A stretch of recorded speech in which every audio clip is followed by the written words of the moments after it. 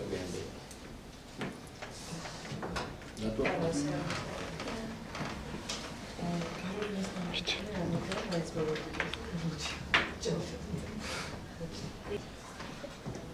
იდე მიფასუქე. და არ არის კონკურსები აქვს და იდე. დაუგულები ევროპაში ზაბიადება დაველოდოთ და დავიცოთ. აი ხო. ხო ვითარ. იგი იგი. დერესე. აა დერესე.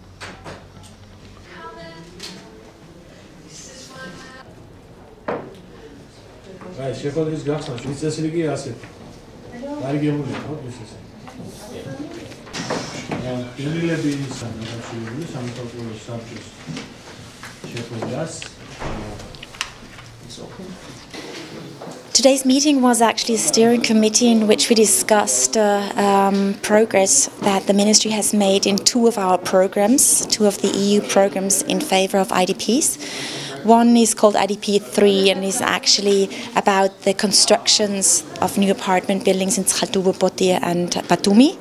This program is about to be finalized, mostly successfully.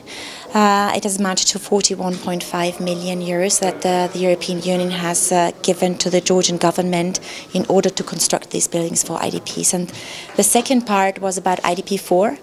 Uh, where the ministry had to prove actually that they had succeeded or they had progressed uh, in uh, creating more detailed policies so that uh, the selection of IDPs would be fairer, more transparent, uh, and more um, public, uh, so that um, we can be sure that it's the most um, that the poorest IDPs, so to speak, that would profit from those programs.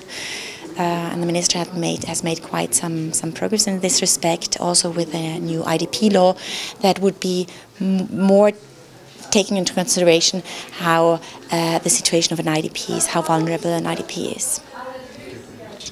დღევანდელი შეხვედრა ეძღვნებოდა დევნთა პროგრამა 4-ის დაწყების საკითხს, ასევე შეჯამდა დევნთა პროგრამა 3-ის დასრულების საკითხი და ევროკავშირის დაფინანსებით განხორციელებული ამ პროგრამების ფარგლებში მოხდა იმის შეთანხმება თუ რა აქტივობები იქნება განსახორციელებელი სამინისტროს და მისი პარტნიორების მიერ.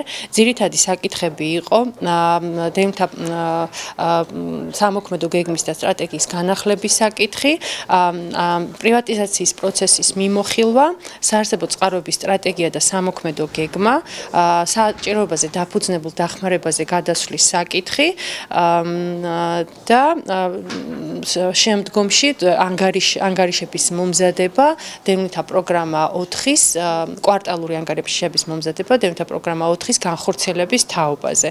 ამ ამ ფორმატში შეხვედრის მონაწილე მონაწილეობას იღებენ საერთაშორისო ორგანიზაციები, ისინი რომლებიც ჩართული იქნებიან დევნთა პროგრამა 4-ის განხორციელებაში, ასევე ჩვენ თანამშრომლობთ სამთავრობო სტრუქტურებთან, ეს არის მუნიციპალური განვითარების ფონდი, რეგიონალური განვითარების სამინისტრო, ფინანსთა სამინისტრო, ჯანდაცვის სამინისტრო და სხვა უწყებები.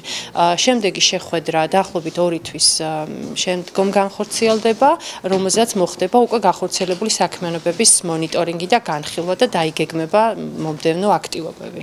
გუგეშაშვილი მედია საერთაშორისო ურთიერთობების დეპარტამენტის უფროსის მოადგილის მოვალეობის შემსრულებელი.